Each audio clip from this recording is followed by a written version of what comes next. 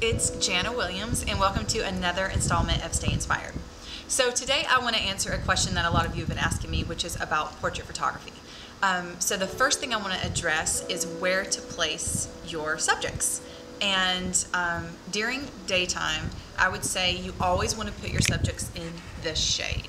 So I'm going to show you a few differences today between putting them in the shade and putting them in like partial sunlight or direct sunlight.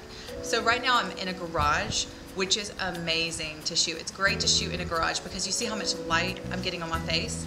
That's from the cement and the walls across from me, which are reflecting light onto me.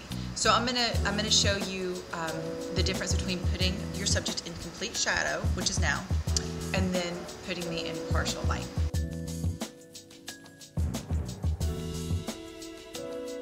So now we're in a park with, you know, like it's very, very open and there's no garages anywhere.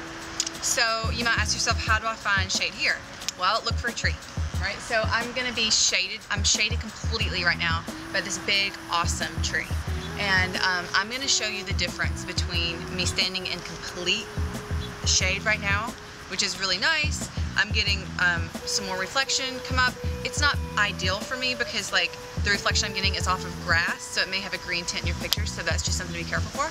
But, um, so let me show you the difference between full shade and half shade.